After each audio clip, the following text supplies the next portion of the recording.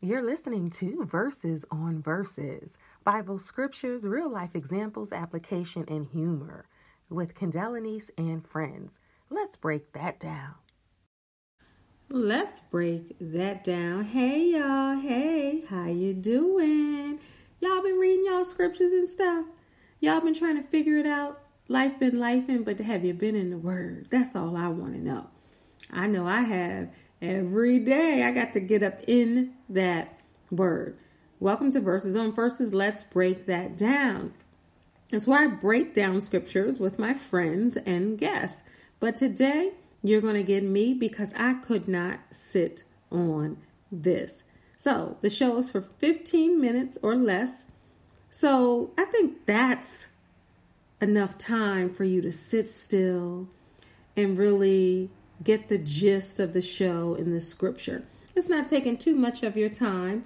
So, as always, welcome in and tell a friend. And if you listen to my other podcast in its 11th season, Shine with Kendéll Lenice, thank you so very much. I'm glad you're here as well, getting this type of nourishment. All right, so today's scripture of the day is Matthew 6 3 I'm reading from the NLT version. But when you give to someone in need, don't let your left hand know what your right hand is doing. But when you give to someone in need, don't let your left hand know what your right hand is doing. Well, Kendéll, what does that mean? It means stop telling folks stuff. Everybody, when you do something for somebody, you don't have to tell folks business. You don't have to tell the folks, the peoples, what you have done for someone. It's supposed to be between you and God. You're not to say, hey, look, I blessed this homeless person. I blessed this person over here. I helped this person out that way. You that's a quick way to lose your blessing. Because ultimately who you're trying to please is God. And as we know, God sees all. So, not letting your left hand know what your right hand is doing, think about that for a minute. Let's break that down. Your left hand and your right hand are very close, they're on your body. And sometimes people say, Well, I'll just tell these four people and I won't tell anyone else. The only way I believe you should tell anybody is if you're practicing what you're learning and you're in a Bible study or you're, you know, talking to someone who you're holding each other accountable for life and and living out the application of the word to say, you know what? Let's let's this word here, let's put it into into play into our lives. Let me tell you how I did it. Uh, you can do something like that, but to be braggadocious or to tell everybody what you did, mm-mm, mm-mm. Especially if you're helping someone in need. That person may not even want others to know that they are in need and that someone helped them. A lot of people are very prideful when it comes to receiving help of any kind, and they don't want all their business in the street. So you're going against the word when you're putting people's business in the street and you're saying, hey, look at me because you're not saying I did this to glorify God. You're saying you did it to glorify you. And that's not of God, and that's not anywhere in the Bible.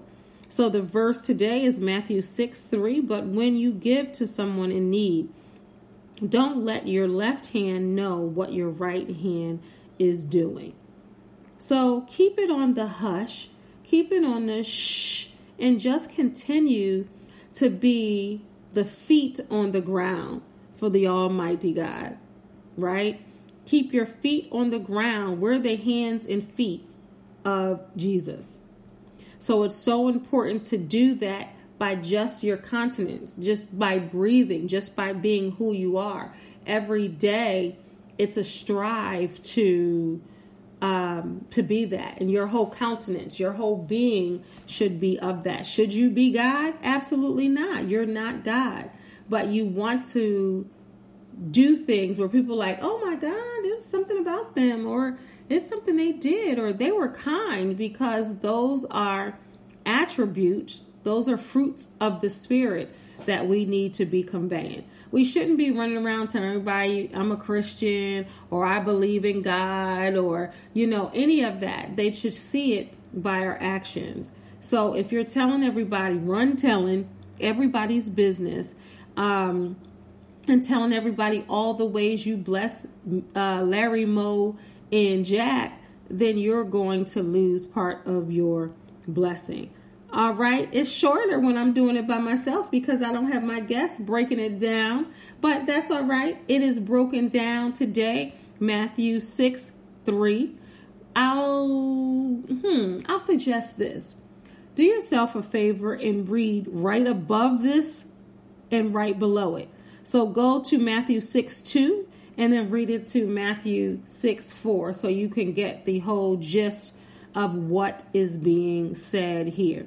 Thank you, everybody, for tuning in to Verses on Verses, where we break down Bible scriptures in bite sized pieces to help you understand in layman's terms. If you have any questions or concerns or for more information about me, please visit Kendelllenice.com. Oh, oh, oh, oh, oh. And if you're on Instagram, please follow my page, Talk That God Talk. And that's on Instagram. You know how people be like, they haven't said it to me. Maybe maybe they know because I'm going to keep talking. But you know how people say, oh, they over there talking that God talk. Yup. And we are. You know what I mean? So definitely follow that page and also my personal page, Kendéll Lenice. All right, y'all. Remember, remember, remember to keep God first and know who you are and whose you are. God bless y'all. Peace. Thank you for listening to Verses on Verses. Let's break that down. The breakdown of Bible scriptures. All right, y'all. Thank y'all so much for listening. Make sure you follow me on all social media platforms at Kendéll. For more information about me, go to Kendelllenice.com. Oh, and follow my Instagram page, Talk That God Talk, at Talk That God Talk. Self explanatory. That's what we're talking about over on Instagram. Thank y'all for listening. God bless. Peace.